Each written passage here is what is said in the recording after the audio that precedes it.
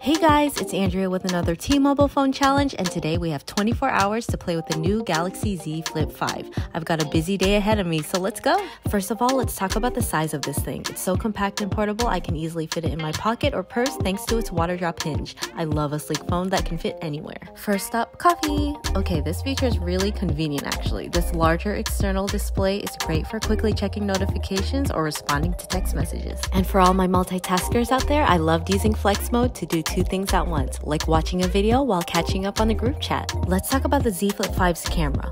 Look at this. Using the wave palm to capture photo feature is so cool.